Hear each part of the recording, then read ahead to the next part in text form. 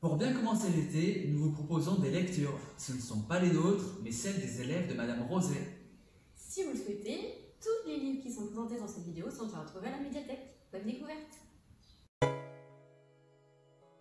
On fait une tarte aux pommes. Rémi Chauvin.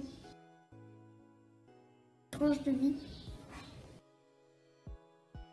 Amusant, joyeux, intéressant.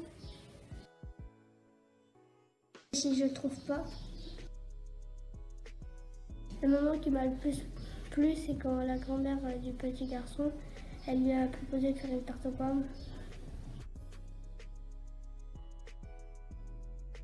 Tara Duncan, euh, Les Sorceliers. Sophie Audouin, Mamie Cognon. Fantasie et aventure. C'est l'histoire d'une fille qui, dé- qui découvre qu'elle a des pouvoirs. Elle vacilla encore un moment, un immense sourire aux lèvres, puis tomba comme une masse d'un seul coup. J'aime bien les moments où Tara se laisse emporter par sa magie. Pour moi, c'était un coup de cœur ce livre.